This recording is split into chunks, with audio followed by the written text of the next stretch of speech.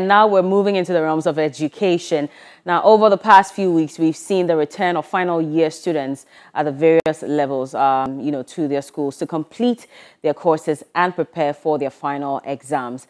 Now, government has come under a lot of scrutiny and backlash as a result of some decisions they've taken concerning these students.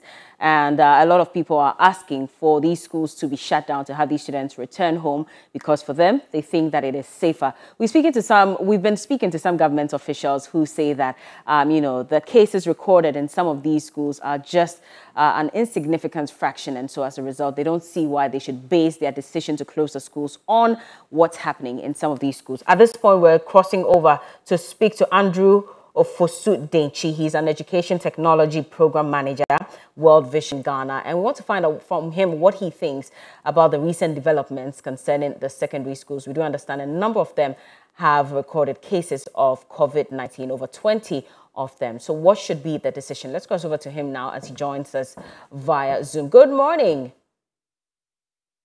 Good morning. Thank you for joining us this morning, and I hope you're well.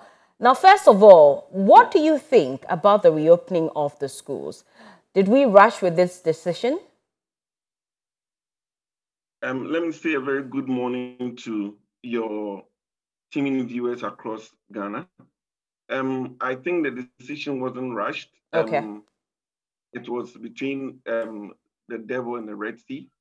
What do we have to do to support our children? In Kenya, Kenya had decided that they will re, uh, reset the academic year. So all children, if you did one semester, you are going to start the semester again. But it comes with a cost. Mm. And so I believe that our our decision is right and it was good we took that decision. It was a good decision to do that. But looking at the number of especially secondary schools that have recorded cases, the latest one being the Archbishop Porter Girls, it is one of seven schools in the Western region to have recorded, not to talk of the other schools across the country that have also recorded cases. Now, are we not jeopardizing the health and future of these students by leaving them in school when they could have been protected at home? Um, like you earlier said, the numbers speaks a lot. Mm. There are over 900 secondary schools, senior high schools across Ghana, and about the percentage of uh, schools that have got hit um, in terms of the number of children is not something that you can stand on and say that because of this we have to shut down the schools. Besides, mm. the number of children that are contracted it is not as huge as we anticipate. But it's also even better for them to be um, identified, isolated, and treated in school than if they were home. Because I can imagine the spike at home with these things spreading across the um, people in the house. They have people who are elderly, they would have been gotten hit, and this would have hurt them so much. Mm. So I believe the school serves as a, a better ground if we put all the protocols together to be able to help Uh, uh, treat these children and have them. But looking at the time frame, especially with the issue of the Archbishop Porter girls, it's very likely that they may have contracted, or that student may have contracted the virus whilst in school. I mean, let's talk about the Accra Girls Senior High School, where we had six students contracting the virus, a teacher and a spouse as well. So the conversation has been that they've been in school for, this would be about the third or fourth week since the secondary school students returned to school to complete. So it's very likely that they may have contracted it in school, especially because there's a 14 day incubation period for the virus. And so if you're saying that, you know, it would have been better, it's better that they contracted in school whilst at home. Maybe they would have been protected at home and wouldn't have to step out to interact with people. It's, it's interesting, um, especially with the Archbishop Porter one.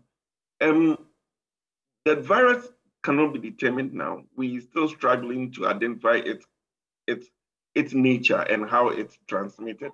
Mm. I am also surprised that having been in school for three weeks, they could get who brought it to the school because um, parents are not allowed to come to school. Yeah. The teachers are observing all the protocols and all that. Yesterday, I was in Central Region and I paid a visit to drive through a couple of schools and I realized that they were all the kids have nose masks and all that. So uh, it baffles me. Mm. But again, um, we need to ensure that the children are observing all these protocols. And the number of children who have got hit is not so huge that can say that we, we close all schools. I stand to be corrected anyway, but I still feel that we, it's early days yet. Um, once the when they were going, the government said that they have attached health persons and hospitals to each of these. So if the monitoring continues and the mass testing continues for the children, I believe that they will, they will be able to stand the test of time. You think there should be mass testing for the students, for all students? Um, in especially in the schools that have had uh, uh, uh, contracted the disease. But they've done contact tracing in some of these schools. Is that not enough? Um, yes, it, it should be now, but if they could continue do the mass, and in fact, if you take Archbishop Porter Girls, for example, the number of final year students there are less about 400 plus the, the gold track, mm-hmm. which is just a few. So if you are doing mass testing for all these 800 or so children, it shouldn't be a bother. At least it will help you to identify those who are asymptomatic and have not showed signs yet. And so that that can be also taken care of. You know, they are writing, they start the paper in uh, next week, 20th. Mm-hmm. Mm-hmm. And so the children need a peace of mind to start read and, and, and write the exams. So for me, I believe mass testing of those schools that have got hit should be a priority now. But there's no likelihood that we're going to get the results even before they start their exams. Looking at the date set for the WASSCE, especially because we understand there's a lag in some of the results that come out. Uh, the last biggest number of uh, you know results that we had, they were from sometime June 16th up until um, now. And so if we're saying that we should test these students, what if they don't get their results before they start the exams? How are they still going to get their peace of mind? That is where the problem is. I believe that the government have to be up and doing. There are a lot of parents who are anguished. They are worried because their children are left there all by themselves and they don't know what the government is actually doing. So I think the government should prioritize the testing of these children. And in the Western region, there's one testing site there. It has to be reactivated. Sometime back, um, a few weeks ago, they stopped testing. They could reactivate these uh, centers so that the children could be tested. Because other than that, then we don't need to keep them there. But my worry is that if we send them home now and they have not been tested, the possibility of them spreading it across their homes will be just enormous. Mm. So I feel strongly that they need to be tested, kept in school, at least for now, when we think that the situation has been assuaged. Once has been assuaged, then if we they can continue the academic work. Um, but um, my worry is that the information flow on these schools that have got hit is very little. We, we are not hearing anything in mm. terms of measures that are being taken to uh, ameliorate the problem. I believe the Ministry of Education and the Ghana Health Service and the management committee of the COVID should be providing parents a lot of information because at this stage, I can imagine how parents are feeling at home when your your your child is in school and you are hearing such kind of reports. Okay. Now, what do you also think about the placement of uh, polling centers in the secondary schools to enable some of these students who are eligible um, to register for the voters ID. That has also come under lots of scrutiny.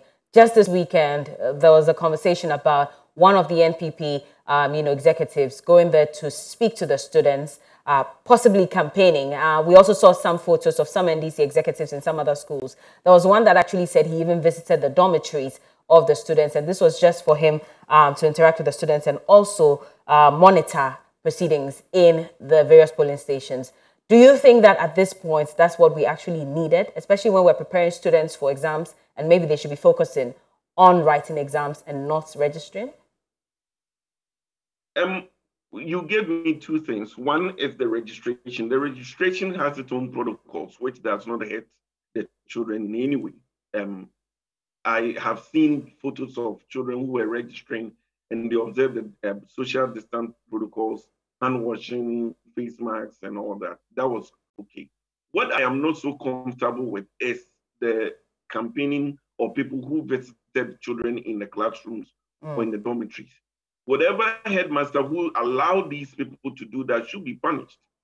In fact, before they left, parents were assured and the general public were assured that parents shouldn't visit children at school. Mm. The reason is simple not to bring any contamination from home to school so that these children can stay in school without the COVID.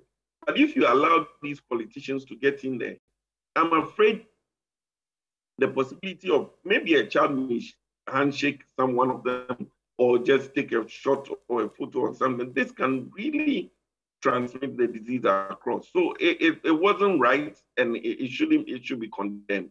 It should be condemned. Okay, well, my time is up, but thank you so much for speaking to us. Andrew Ofosu-Dankye is an Education Technology Program Manager at World Vision Ghana. Thank you very much.